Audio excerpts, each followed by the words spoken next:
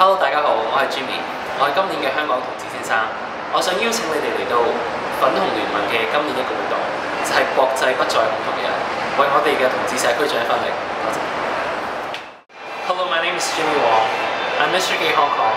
I would like to invite you to this year's IDA HOTS, International Day Against Homophobia and Transphobia.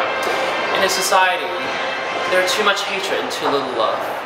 Let's spread love and stop the violence. Welcome to IDAHOTS. Thank you.